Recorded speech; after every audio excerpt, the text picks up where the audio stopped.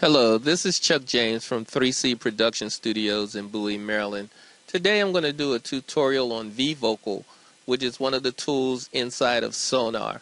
I'm going to be using Sonar X1 Producers Expanded for this tutorial. I really like the vVocal. It has a lot of the pitch correction um, tools that are in the real popular pitch correction software, but because it's integrated inside of Sonar, it makes it easy with your workflow and you don't have to go to different screens that are unrelated. So uh, let's get started with the tutorial. Give you a warning up front. I'm not a professional singer.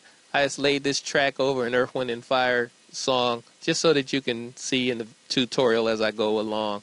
Let's take a listen to how it sounded before the vVocal to trust God in what I hear and rethink all I see. Well, there was the first time I opened my eyes. The first thing I like to do with the V vocal is to select the segment that you're going to be editing. If you have a real long vocal track, it's usually a lot easier to split it into smaller clips. That way you don't tax your um, computer so much. And then once you highlight it, just hit Shift V on your keyboard and it'll bring up the vVocal palette. As the vVocal palette boots up, you'll see something going on down here. It's actually encoding the uh, audio and it's giving you the pitch. So I'll come over here to the zoom tool, take a small section and zoom in so that you have a good area to see the notes that are played, what pitch they're in, and also so that you can see the wave so that you could see the phrasing and things like that. It'll be really important when we go to some of the other screens. The um, pitch correction can be done either manually or automatic. Usually, what I'll do is set it up to where it's not real obtrusive and then go back and make adjustments manually. You'll see down here they have a scale range. You can push scale and then pick the note for the scale that you're in and the V vocal will not allow the singer to pick any notes that aren't on the scale. You can go to major scale or minor scale. Usually I like to turn the scale off because it'll give the singer a lot more flexibility in what they want to do. Now over here you have note. This is your note sense. I'll turn the note sense up to 90% where it won't pull everything exactly on the note, but it'll usually sound a lot more um, natural that way. Then with the vibrato, what I'll usually do is turn the vibrato up to about uh, 50%. I have a lot of vibrato in my voice, so I'll use the program to correct some of that as it processes. And then I'll usually leave the sense at about 30. Then you can hit the correct key. And you can see that now where you only had yellow before, you have red and yellow. The yellow is where it moved the pitch to, and the red is where it was originally. So then we'll come back here and set our cursor and take a listen to it now that the pitch has been corrected by vVocal automatically. To trust God in what I hear and rethink all I see.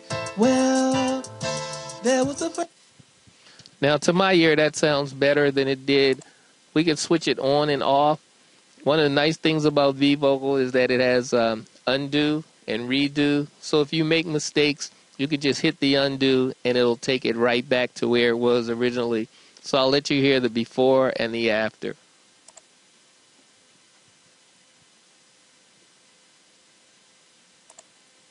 To trust God in what I hear and rethink all I see.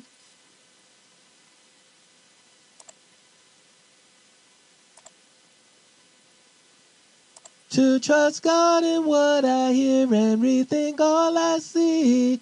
Well. Now, again, the pitch correction that it made, I think, was pretty good choices. But I'll show you some of the things that you can do manually. If you look at the opening section, over here to the right hand side, it allows you to move the um, the pitch screen over top of the audio on this section, you can see that it made a big correction. If you hold the cursor over the line, you'll see where it moved it to. You can see that it says E4 64 and then it says plus 29. That means that it's not exactly on the E, but it sounds natural. But what I'll do for this tutorial is pull it down to where it says that it's directly on the E.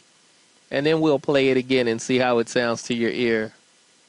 Trust God in what I hear. It. Let's go back a little further.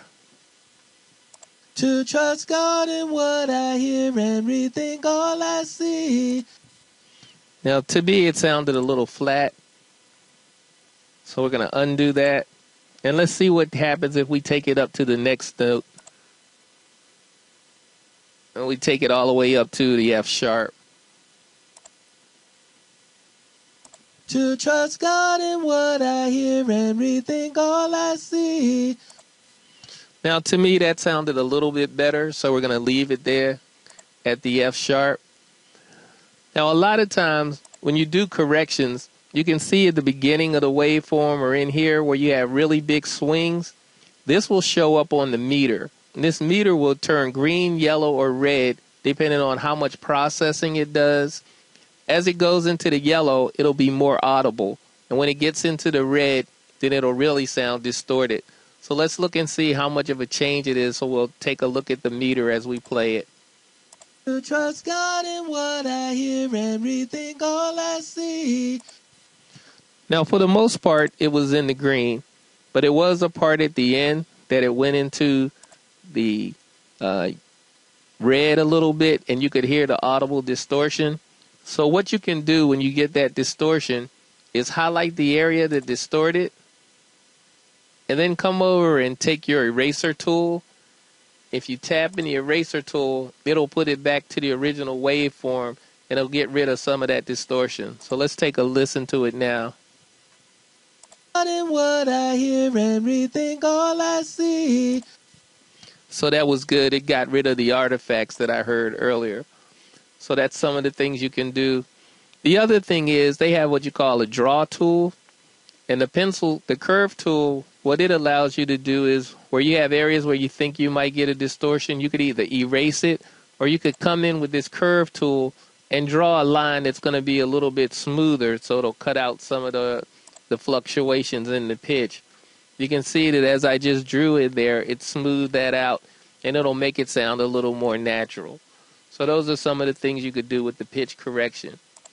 The other thing that I really like about the um, the V vocal is that they have a LFO tool, and this is used to change the vibrato in a section. If you look at this phrasing in here, you can see that it's a lot of vibrato. So if you take the LFO tool and put it on the line, when it turns into two blinking arrows, you can hit your cursor, and then as you pull down, he'll get rid of some of the vibrato, or you can push your cursor up and make it really extreme. So I'll just let you hear it just to see what the effect did. To trust God in what I. Okay. I will undo that. Now we'll go to one of the other tools that I really like in vVocal, and it's the Dynamics tool.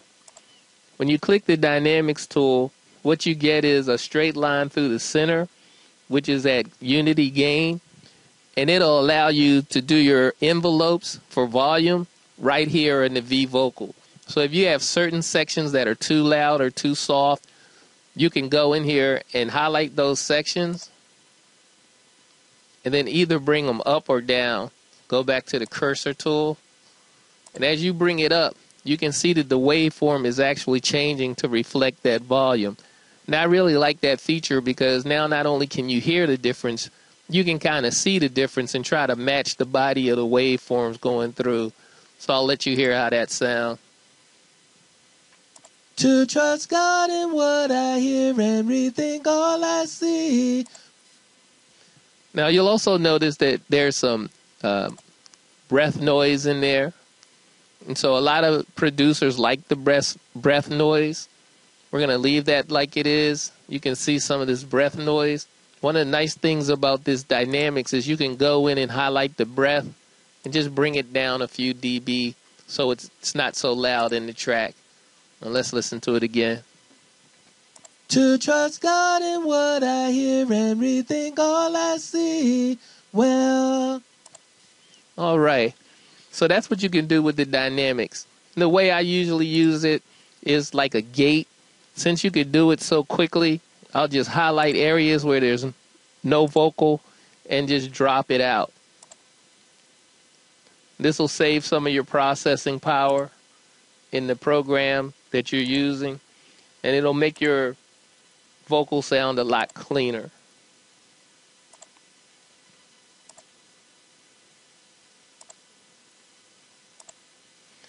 Now you can hear the entire piece with all of the noise taken out. To trust God in what I hear and rethink all I see.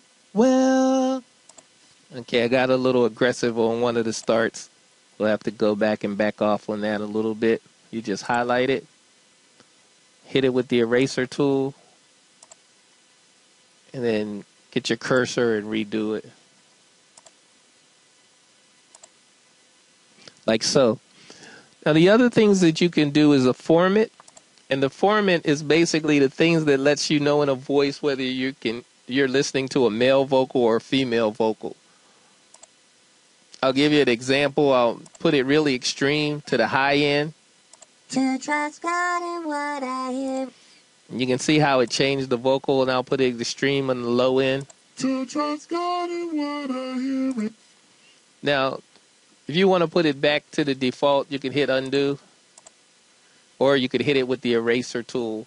For my vocals, since my voice is pretty high, I usually will come in and hit it with like minus two. That'll give it a little more chesty sound. To trust God in what I hear and rethink all I see. Well, Okay. And then the final thing is the time. Now this is a really good feature, especially if you're doing vocals like in a rap where you're going to double the vocals or R&B where you're going to have the singer sing over their own vocals to give it that fullness.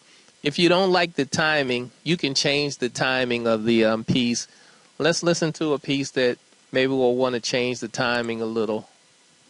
to trust God in what I hear and rethink all I see. Well, Okay, where that well is, let's say that we wanted to move that a little closer. First thing you do is go up to the line and hit an anchor point. And that'll mean that nothing on this side of the line will move. And then you go back here and you put an anchor point so that nothing behind it'll move. Then you go to the start of where you want that to to move to and you just drag it ahead and you'll hear the difference in the vocal now that I've changed that timing. and rethink all I see. Well, that was the first time I opened my eyes. Okay, and now I'll let you hear how it sounds with it back to the original. and rethink all I see. Well, that So that's a really quick tutorial on um, V Vocal. I hope you enjoyed it. This is Chuck James, and be looking out for other tutorials that I have on Sonar coming soon. Thanks.